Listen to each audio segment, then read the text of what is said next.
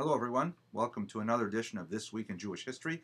Today, we're going to celebrate the birthday of Jacob Rodriguez Pereira, a very important individual who was one of the first people to teach deaf mutes how to communicate.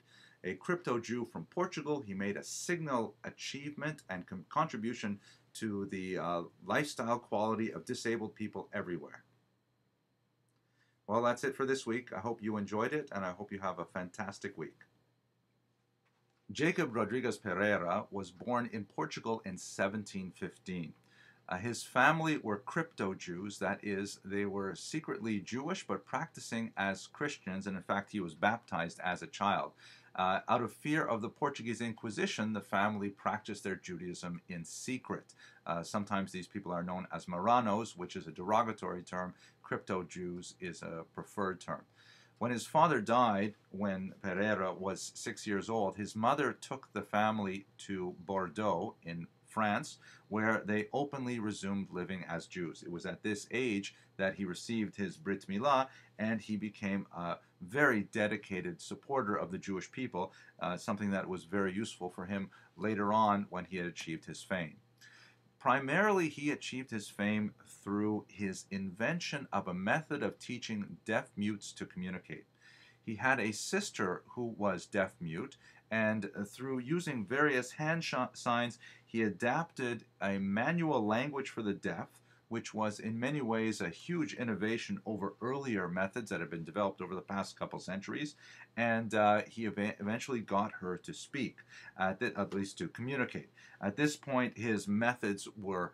Um, were recognized by a wealthy French family who hired him to teach their son how to uh, communicate.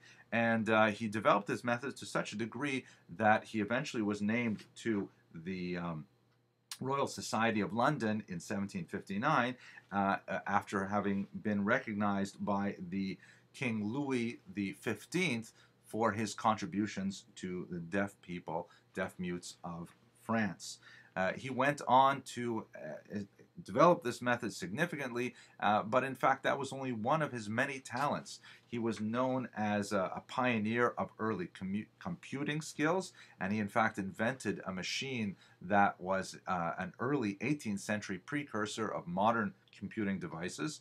Um, and uh, he was very active in the financial world as well, in fact, even advising the uh, French government on how to reduce their deficit.